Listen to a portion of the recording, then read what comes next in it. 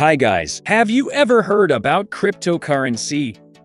Cryptocurrency is a digital or virtual currency that uses cryptography to secure and verify transactions and to control the creation of new units. Cryptocurrencies have become a popular form of digital assets, allowing for peer-to-peer -peer transactions, global payments, and decentralized finance. The growth of cryptocurrencies in recent days has been significant. Increased institutional usage, the expansion of decentralized finance DeFi, and the increasing acceptance of cryptocurrencies as a mainstream asset class are some of the factors that have contributed to this growth. Yet, as established regulatory frameworks struggle to keep up with the quick speed of innovation in the crypto world, the emergence of cryptocurrencies has also prompted worries about regulation and legal challenges. As cryptocurrencies continue to gain mainstream acceptance, it is essential to understand the legal and regulatory frameworks that govern these assets to ensure compliance, mitigate risks, and foster innovation. Join us in today's video, and let's explore the exciting and complex world of crypto regulations and legal issues. Cryptocurrency classification The classification of cryptocurrency is one of the most significant concerns in crypto laws and regulations. The question of whether cryptocurrencies should be considered currencies, commodities, securities, or something else has significant implications for how they are regulated. The classification affects everything from taxation to AML KYC requirements to investor protection. The lack of clear and consistent guidance on classification has led to confusion and uncertainty in the industry. A good example of this is the dispute over XRP where Ripple claims it is a currency while the SEC claims it is a security. It will be vital for regulators to offer precise and consistent instructions on how cryptocurrencies should be categorized and controlled as the cryptocurrency industry continues to expand and change. AML KYC regulations, anti-money laundering AML, and know your customer KYC rules are important for safeguarding investors and customers as well as for preserving the integrity of the financial system. These regulations are designed to prevent money laundering, terrorist financing, and other criminal activities by requiring financial institutions, including cryptocurrency exchanges, to verify the identities of their customers and monitor their transactions. AML regulations require financial institutions and cryptocurrency exchanges to identify and verify the identities of their customers in order to prevent money laundering and terrorist financing. KYC regulations require the same but with an additional layer of verifying the source of funds. However, there is a tension between AML KYC regulations and the anonymity that many cryptocurrencies offer. Regulators are working to find the right balance between protecting against illegal activities and respecting privacy. Taxation Governments around the world are grappling with how to tax cryptocurrencies. There are questions about whether crypto should be treated as property or currency and how to account for gains and losses. The lack of uniformity in tax treatment between countries and even states can create confusion for businesses and investors alike. Determining the proper tax treatment is also difficult due to the volatility of cryptocurrencies. The development of new technologies like DeFi and NFTs has made the tax system even more complex. Authorities are still trying to figure out the best way to tax these novel kinds of assets. There is a need for greater clarity and consistency in cryptocurrency taxation for future. Initial coin offerings ICOs Initial coin offerings ICOs are a way for cryptocurrency startups to raise funds by issuing tokens. However, ICOs have been associated with fraud and scams, and regulators are working to create guidelines to protect investors. Nowadays, many nations demand that ICOs abide by securities rules, which presents difficulties for entrepreneurs.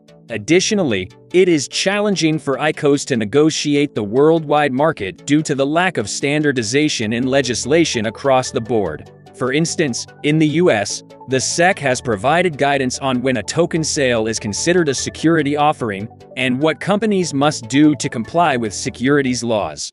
ICOs have become less frequent, but the concept has led to other token sale methods that are just as innovative.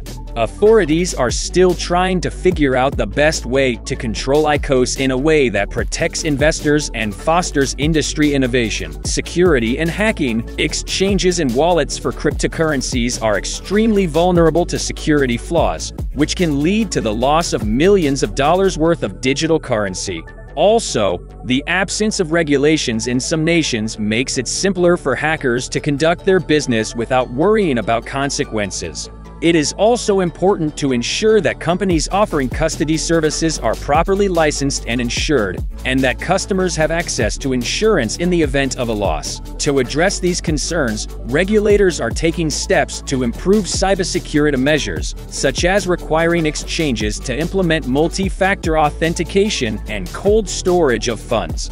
However, this is an ongoing process, and the constantly evolving nature of technology means that regulators will need to continually adapt and improve cybersecurity measures to stay ahead of potential threats. Cross-border transactions Cross-border transactions are another area where cryptocurrencies have created regulatory challenges. Cryptocurrencies can be sent across borders without going through traditional financial institutions, which creates challenges for regulators who are trying to monitor financial flows and prevent money laundering. There is a need for greater cooperation between regulators at the national and international levels to address these challenges. Smart contracts Smart contracts are self-executing contracts with the terms of the agreement directly written into code. These contracts have legal implications, and there is a need for regulatory guidance to ensure that they are enforceable and meet legal standards. Decentralization The decentralized nature of cryptocurrencies creates challenges for regulators who may not have the ability to control or regulate the network. This raises questions about how to enforce regulations and protect consumers in a decentralized ecosystem. However, decentralized networks also offer opportunities for innovation and greater financial inclusion, and regulators need to balance these competing priorities. Privacy and anonymity Cryptocurrencies' core properties of privacy and anonymity are essential to many users. But regulators face difficulties in identifying and stopping unlawful activities like tax evasion, money laundering, and financing terrorism. Privacy coins, such as Monero and Zcash, are specifically designed to provide maximum privacy and anonymity to their users, making it difficult for regulators to track transactions. Some countries are putting in place legislation that require cryptocurrency exchanges to confirm the identities of its customers and report questionable activities in order to ease these worries. In the Bitcoin sector, there is also an ongoing discussion over how privacy and regulation should coexist. Consumer protection Finally, consumer protection is a critical issue in the world of cryptocurrencies. Cryptocurrency transactions are irreversible, which creates risks for consumers. Regulations are needed to ensure that consumers are protected from fraud, scams, and other forms of misconduct. Consumers must also have access to information about the risks and benefits of investing in cryptocurrencies, and companies must be held accountable for. XRP is one example of a cryptocurrency that has been at the center of a legal and regulatory battle, raising important questions about how cryptocurrencies should be classified for regulatory purposes. XRP is a digital currency that was created by Ripple Labs in 2012. It is designed to be a fast and efficient means of payment and settlement for financial institutions. The U.S. Securities and Exchange Commission SEC sued Ripple in December 2020, claiming that the business had offered and registered securities to investors by selling them XRP. The SEC contended that Ripple had not complied with the essential registration and disclosure requirements and that XRP should be considered a security governed by the same laws as stocks or bonds bonds. On the other hand, Ripple asserted that XRP was not covered by the same restrictions because it was a currency and not a security. In March 2021, Ripple won a key victory in the case when a judge granted the company's request to access internal SEC documents related to the agency's classification of cryptocurrencies. Ripple argued that the documents would show that the SEC had not been consistent in its treatment of cryptocurrencies and that the agency had failed to provide clear guidance on how cryptocurrencies should be classified. The case is ongoing, and its outcome will have significant implications for the cryptocurrency industry. If the SEC's position is upheld, it could lead to increased regulation of cryptocurrencies and greater uncertainty for investors. If Ripple's position is upheld, it could pave the way for greater clarity and consistency in cryptocurrency regulation. In addition to the legal issues, XRP has also faced regulatory challenges in other countries. Overall, the legal and regulatory issues surrounding XRP highlight the challenges that cryptocurrencies face in a rapidly evolving regulatory landscape. As the cryptocurrency industry continues to grow and mature, it will be important for regulators to provide clear and consistent guidance on how cryptocurrencies should be classified and regulated. In conclusion, crypto regulations and legal issues are complex and constantly evolving.